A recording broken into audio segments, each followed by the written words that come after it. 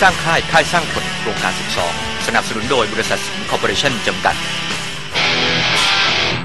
ปฏิบัติการต่อเติมอาคารเรียนตลอดระยะเวลาหนึ่งเดือน ของชาวค่ายชมรมอาสาพัฒนา มหาวิทยาลัยกรุงเทพ นอกจากจะได้รู้จักการแบ่งปันแล้ว ยังได้เรียนรู้งานในส่วนต่างๆ ที่จะเป็นต้นทุนชีวิตในอนาคตจะทำอะไรที่ไม่เคยทำอย่างเงี้ยอย่างฉาปูนล้างห้องน้ำทำกับข้าวให้คนอื่นเขาทานที่แบบ อาจจะไม่อร่อยบ้างอะไรเงี้ยอะก็ก็ต้องฝึกทำกันไป เพราะที่นี่ถือว่างานผู้หญิงผู้ชายแบบเท่ากันครับ ก็ผมไม่ถือว่ามันเป็นงานของผู้หญิงกับงานของผู้ชาย ถือว่าเป็นงานของทุกคน